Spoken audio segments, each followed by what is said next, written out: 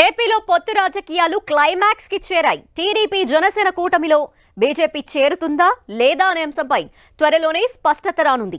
TDP అధినేత చంద్రబాబు జనసేనాని పవన్ కళ్యాణ్ త్వరలో ఢిల్లీ పెద్దల్ని కలవనున్నారు. కొద్ది రోజుల క్రితం వరకు రామ మందిరం హడావిడిలో ఉన్న బీజేపీ హైకమాండ్ ఇప్పుడు పొత్తుల అంశాన్ని తేల్చేస్తోందని ప్రచారం జరుగుతోంది. వచ్చే నెల మొదటి వారంలో పొత్తులపై క్లారిటీ వచ్చే ఛాన్స్ ఉంది. ప్రస్తుతం బీజేపీ టీడీపీకి జనసేన మిత్రపక్షంగా వ్యవహరిస్తోంది. అయితే టీడీపీతో కలిసి వెళ్ళాలా వద్దా అనే అంశంపై రాష్ట్ర బీజేపీ నేతల నుంచి హైకమాండ్ అభిప్రాయాలు సేకరించింది. కానీ ఇంకా ఏ నిర్ణయం తీసుకోలేదు.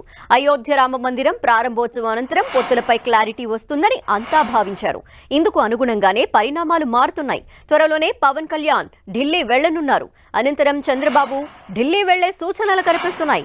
ఫిబ్రవరి రెండు వారం తర్వాత ఎన్నికల షెడ్యూల్ వచ్చే ఛాన్స్ ఉండటంతో వీలైనంత త్వరగా పొత్తులపై క్లారిటీకి రావాలని టీడీపీ జనసేన భావిస్తున్నాయి. ఇప్పటికే పవన్ కళ్యాణ్ బీజేపీ అగ్రనేతల అపాయింట్మెంట్ కోరినట్టు తెలుస్తోంది.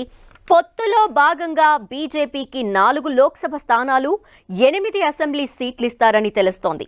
విశాఖ రాజమండ్రి తిరుపతి రాజంపేటలో బీజేపీ పోటీ చేస్తుందని ప్రచారం జరుగుతోంది.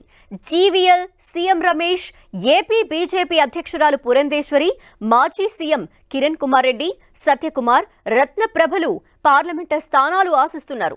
విశాఖ నార్త్ రాజమండ్రి కైకలూరు గుంటూరు పశ్చిమ తిరుపతి నెల్లూరు తంబళపల్లి కదిరి స్థానాలను బీజేపీ ఆశిస్తోంది. ఈ స్థానాల్లో విష్ణువర్ధన్ రెడ్డి విష్ణుకుమార్ రాజు కామినేని శ్రీనివాస్ సోము వీర్రాజు మాధవ్ భానుప్రకాష్ రెడ్డి పాతూరి నాగభూషణం చెల్లా నరసింహారెడ్డి పోటీ పడుతున్నారని సమాచారం. అయితే అధికారిక ప్రకటన రావాల్సి ఉంది. ఇక పవన్ ఢిల్లీ పర్యటన కీలకంగా మారనుంది. ఇప్పటివరకు జరిగిన పరిణామాలు చూస్తుంటే టీడీపీని బీజేపీని కలిపేందుకు పవన్ కళ్యాణ్ ప్రయత్నిస్తున్నట్టు కనిపిస్తోంది. అయితే వైసీపీ వ్యతిరేక ఓటు చీలనివ్వకూడదనే ఉద్దేశంతో రెండు పార్టీల మధ్య ఉన్న గ్యాప్ని తగ్గించే ప్రయత్నం చేస్తున్నారు పవన్.